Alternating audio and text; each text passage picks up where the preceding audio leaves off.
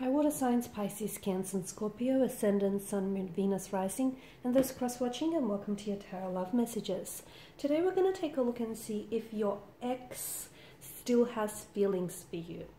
I mean, I'm sure there's still some feelings, but we want to know if those feelings are love.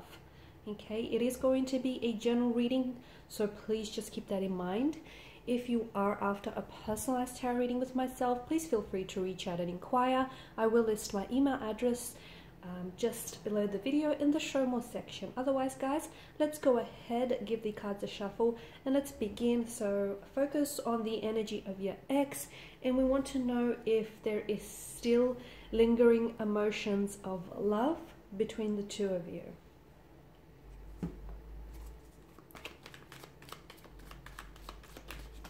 Ooh, I have to be careful not to set anything on fire here. Okay, the Four of Swords, the Emperor.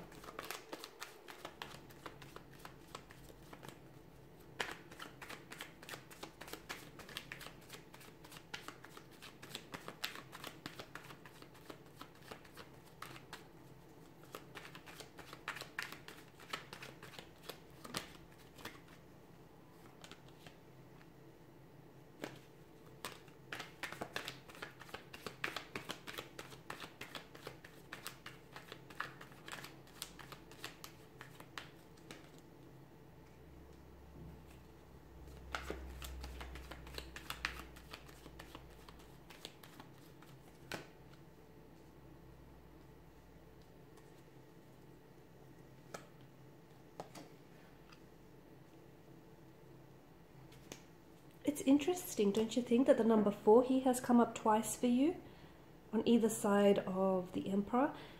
And we've got a similar situation happening here with the number 10. It's come up twice here, both in different elements, but on either side of the Wheel of Fortune. That's interesting. The number four is a number in numerology of confidence, um, of like a very stable, a very solid kind of energy. And because of this, they can be perceived, okay? They can be perceived as super slow when it comes to making moves, making decisions here, or even like thinking on their feet. It's also said that the number four here leads with its head, not with its heart, okay? Which makes sense because it's come up as the four of swords, as the four of swords, like in the suit of swords here. Number 10 is a, it's a divine number. Look, all numbers are very special and unique. But to me, number 10 is a return to unity. It's the completion of a cycle. Okay. It's also feeling independent uh, from, it's a feeling of independent from everything. And this is interesting because to me the numbers in combination with the cards here tells us that I feel like there's a a new beginning and a beginning of a new cycle here, especially with the presence of the Wheel of Fortune. I feel like the card here can indicate an unexpected turn on a turn of events between you and your ex in the future.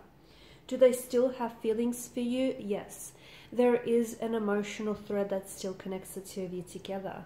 There's also a lot of pain in their energy or perhaps in your energy here, but I can see that there's been a lot of hurt in this connection. So the two of you didn't always necessarily see eye to eye, and the two of you have caused each other a lot of hurt, a lot of pain, a lot of heartbreak, heartache, emotional anguish, betrayal, deception here. It's not to say that there was mal malicious motivation or malicious intent to have caused this pain, but unfortunately, I just feel like the two of you loved each other, and the reason why you've I feel like the reason why the connection here has come to an end is because I'm not sure whether it's their energy or your energy we're picking up here because when two energies are so very intertwined with each other, it can be really, uh, they become so close that the messages can become very similar like in appearance. So what I'm picking up is there was a lot of pain in someone's energy here. Okay, someone had a lot of unhealed wounds and a lot of past pain, a lot of past hurt, and they never dealt with that. So I'm sure you're all familiar with the saying that people that are hurt tend to go around and hurt others the most. And your person was might have been a very hurt individual. They may have had a lot of wounds that need to be nursed and healed, and they never really healed that pain, okay? And they never really allowed themselves to confront that pain as well. Uh, they were always suppressing it, burying it deep inside of them. But of course, we know that pain doesn't just dissipate or dissolve and go away on its own. And what they did is they were outwardly projecting their pain onto you. So the hurt that they were feeling inside, unfortunately, they were projecting that hurt onto you and onto this romantic connection and relationship the two of you had here. They do still have feelings, but with the Emperor's energy, because he's not very lovey dovey and he's not very mushy, this person isn't necessarily showing it. It could be because it's a pride thing, it's a male's ego, okay? It could be that they don't want to swallow their pride, they don't want to show you that they still care for you or that they still love you or they still have very strong feelings for you here they may feel as though maybe you don't reciprocate those feelings or you have entirely moved on. Um, maybe, like I said, it's it's an ego thing. Okay, they don't want to reveal to you. Okay, just how much they still care and they still love you. I feel like it's sort of because I'm picking up so much pain in their energy, and because I feel like they're quite complex in nature. I feel like your person has had a lot of a lot of issues that they they needed to untie and untangle the knots in some of these issues. They may have had a very complex upbringing. They may have been previously involved in some very painful and complex romantic relationships.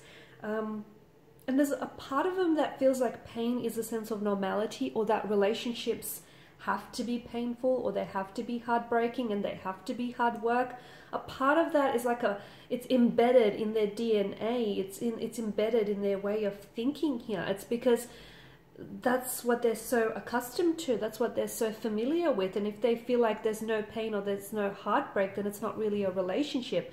And of course, it's a wrong way of thinking, but it's what they've been exposed to earlier on. So just going back to that whole, you know, not wanting to reveal their feelings for you, because I feel like it's a pride and it's an ego thing. Um, and I feel like if they show, it could have something to do with their upbringing or just their personality and their nature here. But if they feel like they show you that they still have feelings for you, they they're they're interpreting it as it as a sign of weakness, okay? And to you, they want to come across, whether female or male, they want to come across as alpha, someone who's totally in control of their emotions, someone who's not phased by, you know, this situation or by what went on between the two of you. Because I can see the two of you had quite an emotional roller coaster here, okay? There was a lot of complexities, a lot of intricacies, a lot of, um, I guess, a lot of insecurities or issues that they had, or perhaps the both of you had, that really surfaced um, in this connection here. Okay, and I can see that, especially with the Ten of Swords, there was a lot of a lot of hurt, a lot of betrayal here, and maybe your person feels like you can't forgive them for the pain and the hurt that they've caused you. Okay, or maybe them holding back on their emotions feels like it's a way to protect you because the the Emperor is also such a protective alpha kind of energy. Maybe they're trying to protect you from them. Maybe because they're aware that they are a very complex individual and that they're aware that they do hurt you. And even though that they still love you, them not coming back to you or them not acting on those feelings here is a way to protect you from them because they feel like if they if the two of you come back together here you'll essentially come back to what the two of you once had which was a very complex complica- complicated, very turbulent, tumultuous type of situation, and they don't want you, and they don't want to cause you any more pain. So this is really interesting because I feel like th- this is very complex, and there's so many layers to this person, and there's so many layers to this connection. Yes, the two of you have hurt each other. Yes, the two of you have said or you've done things. You've even broken each other's trust here. And maybe for some of you watching and listening this, you feel like there's no going back, okay? But I feel like your person still has so much emotions. They're trying not to show it for, you know, for fear of uh, pride, for fear of appearing weak. But I also feel like it's a way to protect you from them. It's a way to protect you from the hurt that they've projected onto you. So that's interesting that it's sort of like a protective measure here. Um, 10, of course, is the like the completion. So for some of you, maybe they feel very strongly that the two of you cannot possibly go back to what you've created in the beginning because it's finished between the two of you okay? It, it's you can't recreate the past and some of you are like well nor would you want to right? You can't go back to what you once had. Whatever feelings and emotions you had for one another you know whether they were very strong positive emotions or strong negative emotions they belong to a particular point in time and no moment could possibly be recreated. And your person feels like or, or, perhaps you feel like you know what the two of you had is best left in the past okay and let the dust settle on that. Maybe you feel like there's no point in possibly revisiting what was once had because it's just that it's the past but for others of you, I do feel like that the Wheel of Fortune here, because it's a card of movement and it's wedged in between the Ten of Swords and the Ten of Wands here, it tells me that there's a possibility that there could be a an opportunity. There could be a window of opportunity that presents itself between you and this connecting ex energy in which the two of you could be able to come back together and revisit this connection. But you're not going back to what you guys what sort of broke the two of you. You're not going back to what you guys had because that, as I've mentioned, you know, that's the past and you can't recreate the past. You can't recreate what was, right? But you can begin anew and it feels like the sun is lifting, it's cresting the horizon here. So it feels like it's a renewed sense of energy. It feels like a new chapter, a new energy, a new type of love, a new type of a connection, a new type of a beginning. So even though, you know, it's, and they're not the old person, they're not the person that you once knew, and neither are you, because since then you both have grown and evolved to be the person that you are today. And this is why I see that for a lot of you, you know, the wheel of fortune turns and it's this, it ushers in such a new energy and it's such a new beginning. And of course, the Wheel of Fortune is also a card of destiny. So, if the two of you are destined to cross, cross paths together, it will be, okay?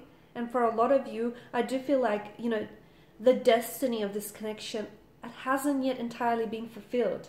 You've had, I know you guys had your chance, okay? You, you guys had your relation like you've had your um your opportunity you've had your chance and look some of you didn't get it right the first time and that's okay as I like to say, you know, some of the life's greatest adventures begin on the wrong turn, and maybe this is your second chance because I feel like your ex still has feelings for you, and you may still have feelings for them too. And you know, you've both grown and evolved since then, and it just may be an opportunity to do it, to do it, you know, again and to do it better this time around. Alright guys, and these are your messages. Thanks for watching. Thanks for listening. Please show your support by liking, subscribing, sharing. For those of, for those of you interested in personal reading, feel free to inquire. Otherwise, bye for now.